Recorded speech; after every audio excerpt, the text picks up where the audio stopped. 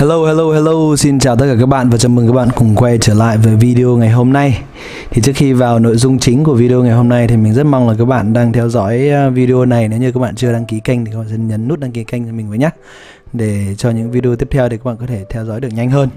Và trong video ngày hôm nay thì mình sẽ chỉ gọi là nói chuyện và chia sẻ với các bạn một chút về cái vai trò của việc chúng ta nhận định thị trường. Đúng không ạ? Chúng ta có kế hoạch giao dịch và chúng ta phân tích thị trường trước khi vào phiên nó như thế nào. Thật ra là hôm uh, hôm qua mình có ra một cái video trên này đúng không ạ? Và và mình cũng đã chia sẻ với các bạn cái cách mà mình phân tích thị trường trước giờ giao dịch phái sinh như thế nào. Và cơ bản thì uh, theo đúng như cái phân tích, thực ra là đúng theo cái phân tích thứ thứ hai của mình ấy. Cái điểm thứ hai của mình ở đây này. Đó là gì ạ? Là khi mà mình có những nhận định về thị trường thế giới giảm này, thì rất có thể là thị trường trong nước nó sẽ giảm. Sau đấy mình có nhận định cái ưu tiên của mình nó sẽ là một cái trend xuống. Đó. Và tối đa nó xuống được đến ờ, mình nghĩ là nó xuống được đến 1217 Đấy chưa ạ? 1217 Thì trong cái phiên giao dịch ngày hôm nay, Các bạn có thể nhìn thấy là thị trường nó đi xuống. Ở đây chúng ta xem ở biểu đồ ngày, rõ nhé Đấy chưa ạ? Và nó xuống sâu nhất là 1218 như vậy là gần đúng không ạ? Gần về đúng cái điểm mà mà cái phân tích của mình hôm qua mình có chia sẻ với các bạn. Như vậy là nếu mà chúng ta chốt non một chút, đúng không nhỉ? Thì là cơ bản là đạt đến cái điểm này rồi. Được chưa ạ? Như vậy là các target 1 và target 2 ở đây là hôm nay, trong phiên ngày hôm nay là nó đạt được hết. Đúng không nhỉ? Tuy vậy thì như mình có chia sẻ với các bạn là khi mà người ta phân tích chúng ta phải có những cái điểm 1 điểm 2 như này. Đây là những cái điểm mà nó có cái vùng kháng cự hỗ trợ các bạn xem ở đây nhé. Hôm qua mình có phân tích với các bạn là gì ạ? Nó đến đây, đúng nhỉ? Đến cái điểm này chắc chắn nó phải có phản ứng này, ngay cái đáy của cái, cái chỗ này này, được chưa ạ? Thì nếu như các bạn nhìn lại cái ờ, và mình có bảo các bạn là chúng ta sẽ lựa chọn một cái điểm này để mình chốt đúng không nhỉ? Ở tầm ờ, uh, 1228 đó. Nếu mà cần thiết thì chúng ta chốt ở đấy đi. Thì bây giờ chúng ta sẽ xem lại ở biểu đồ ờ, 30 phút thì các bạn thấy nhá. Đây, chúng ta gióng từ đây sang. Để mình kẻ cho các bạn dễ nhìn. Thật ra là mình thì không không uh, đây được chưa? Ta gióng từ đây sang. Bình thường nó là vùng các bạn nhé nhưng thôi chúng ta cứ kẻ một thanh đây. Đó đây các bạn có nhìn nhìn thấy này. Những cái điểm nó xuống đây này nó quay ngược lên một chút một chút này nó đi hơi ngang một chút. Ở đây mình đang để biểu đồ 30 phút để các bạn hình dung được là à khi mà mình tìm được cái điểm kháng cự hỗ trợ ấy mình vẽ mình gióng như thế này thì gần như là nó sẽ có những cái phản ứng nhất định. Nó chắc chắn là nó sẽ có được chưa ạ? Yếu hay mạnh? Thôi đó đó là vấn đề yếu hay mạnh thôi. Thì khi mà chúng ta xem ở biểu đồ một phút thì nó sẽ không có nhìn được xa như thế. Thì bây giờ mình chuyển cái biểu đồ này về 5 phút cho các bạn xem. Xem ta có đủ nhìn thấy không ạ? Đây, cái điểm này. Đó, khi các bạn gióng đây sang đây, thì các bạn sẽ thấy là những cái vùng ở đây, nó sẽ có những cái biến động đi ngang đi ngang một chút. Đó, sau đây nó mới bật xuống tiếp, được chưa ạ? Đây, cơ bản là các bạn nhìn nhé mình gióng như này này, đúng không ạ? Đây, mình kẻ cho các bạn xem. Lấy một cái vùng đi. Lấy một cái vùng cho nó dễ nhìn, tại vì lúc nào nó cũng phải để cho nó vận động theo vùng, đúng không ạ? Đây là cái điểm ở trước cái gap các bạn nhé đây, các bạn nhìn này. Đúng không nhỉ? Nó có những cái biến động ở đây, đặc biệt là những cái điểm, cái cái cái cái điểm chạm này này. Đó, nó hơi đi ngang một chút. Thấy chưa? Sau đấy bắt đầu đi xuống rồi trả lên đây nó lại đi xuống. Như vậy khi mà nó trả quá đây rồi nó quay lên đây, tự dưng vùng này trước đang là hỗ trợ thì bây giờ nó lại chuyển thành kháng cự, đập kháng cự quay xuống ngay đúng không ạ còn ở đây các bạn nhìn ý, để ý nhé bây giờ mình chuyển về cho các bạn à, đây ta đang là 5 phút đúng không nhỉ đi như thế này qua cái vùng này rồi các bạn để ý này đây là trong phiên à. qua cái vùng này rồi đúng không nhỉ qua hai cái điểm này xuống một phát cái thanh này là thanh đẹp này. Các bạn có thể sọt ở đây sau đấy các bạn để cắt lỗ ở trên này một chút này đúng không? Như mình vẫn nói thế là ngon đúng không ạ? Còn uh, đây là trong phiên sáng đúng không? Để đến khi đây nó đi xuống như này. Bây giờ các bạn xem một phút xem nó đi như nào. Với một phút các bạn có thể để ý cái nhịp ngang này. Ui rất là dài. Đúng cái điểm mà chúng ta vẽ cái vùng lúc nãy luôn đúng không ạ? Một cái đi ngang như thế này. Và cái điểm này là điểm vào đầu phiên chiều luôn này. Thì short ở đây đã trả lên gần quá đây nếu mà các bạn vào đây mà để cắt lót là bị mất cắt lót rồi này đúng không ạ nhưng mà nó xuống các bạn để điểm xuống này xuống đây xuống đây đúng không ạ hay là nó xuống mạch đến đây đó như vậy là mình sẽ tua nó về lại à, 30 phút cho các bạn xem nhé. Cái vấn đề mà mình đang muốn chia sẻ với các bạn là gì ạ? Khi chúng ta uh, phân tích ấy, Đây như mình có nói với các bạn trong video trước đây là có cái điểm thứ nhất là 1231, 1228 thì là cái điểm này. Đúng không nhỉ? 1231 đã đây đây. Về 1228 29 đây là cái vùng này đây. Thì nó có những cái biến động nhất định đây các bạn xem này, đây là đang biểu 30 phút này. Lúc nãy mình có quay cho các bạn xem biểu 5 phút và 1 phút thì các bạn sẽ thấy là nó có những biến động đi ngang nhất định ngay chỗ này luôn. Đó thì mình mới bảo là các bạn phải để ý. Giả sử như nó đi ngang và nó không đi xuống mà nó quay lên thì lúc đấy chúng ta là phải để ý về long đúng không nhỉ? Nếu như các bạn vào lệnh, nếu mà nó đủ điều kiện. Nhưng mà vào đến đây nó lại đi xuống tiếp. Đó, được chưa ạ? Còn chúng ta nhìn về ngày một chút này thì trong phiên đây ngày hôm nay là ngày 19 chúng ta xem ngày 19 này nào. 30 phút. Để 30 phút thì sẽ hơi khó ra để 15 phút nữa ngày 19 đây à? 45 16 78 đây đây đây đây.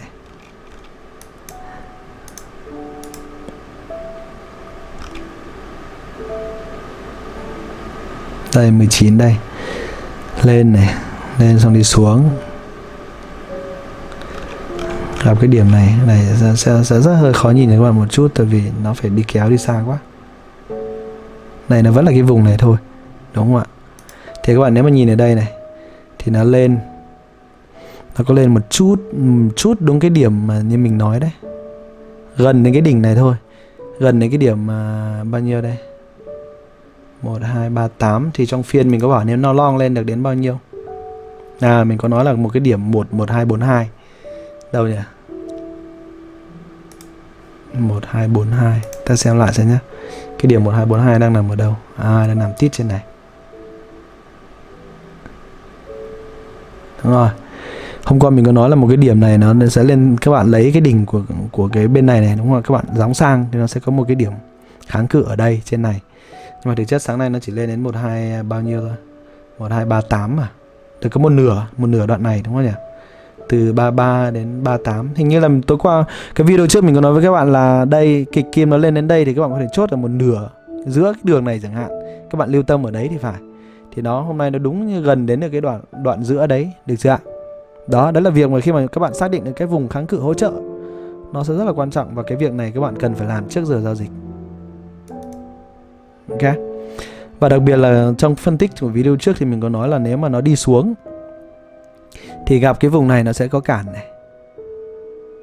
Được chưa thì cái cản này các bạn nhìn thấy rõ, rất là rõ ở đây rồi, bên này rồi.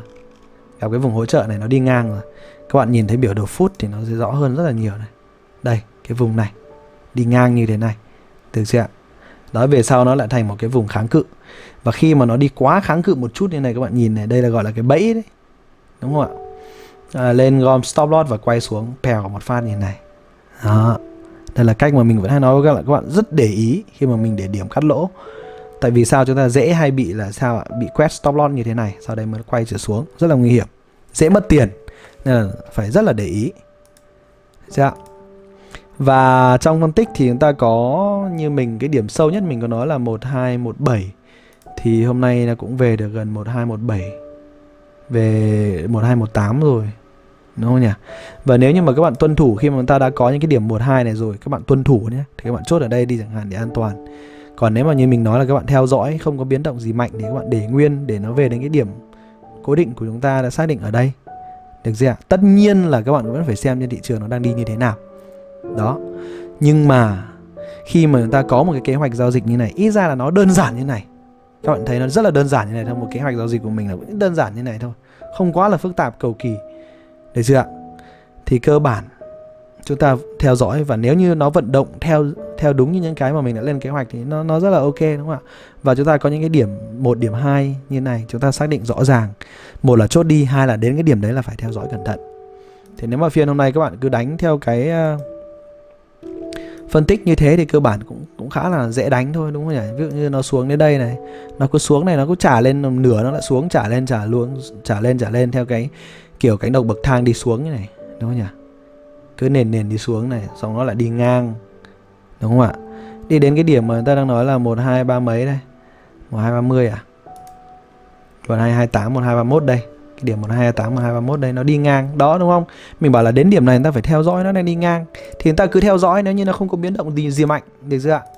Thế các bạn thấy là à nó cứ đi ngang này thì mình theo dõi và khi các bạn thấy nó nhảy lên, nó không quá 50% cái đoạn này thì chắc cũng chưa đáng sợ lắm. Các bạn nhớ nhé mình vẫn hay dùng, mình mình mình để nó dễ hiểu ấy, thì mình cứ gọi là 50% cái khoảng này đi, một cái khoảng này đi. Nếu mà nó chưa quá lên đấy thì cũng không đáng sợ lắm, thì các bạn có thể giữ tiếp. Và khi đấy nó xuống xuống nó cũng không trả lên quá nửa thì cũng phải sợ. Thì các bạn vẫn giữ. Nhưng mà đến cái trường hợp này các bạn có thể nhìn thấy này, nó xuống đến đây đúng không xuống đến đây, xong nó trả lên trả lên. Nó trả lên cái vùng này, nó lại gặp lại cái vùng kháng cự này để nó đang hỗ trợ rồi, nó chuyển thành vùng kháng cự. Thì mình nghĩ là thời điểm đấy là các bạn cũng phải tính đến chuyện là các bạn chốt đi. Đúng không ạ? Còn nếu mà các bạn để, ví dụ như là, ôi, mình chấp nhận là mình có được ăn một đoạn này rồi, mình mạo hiểm thì các bạn để cắt lót ở tích cái điểm trên này chẳng hạn.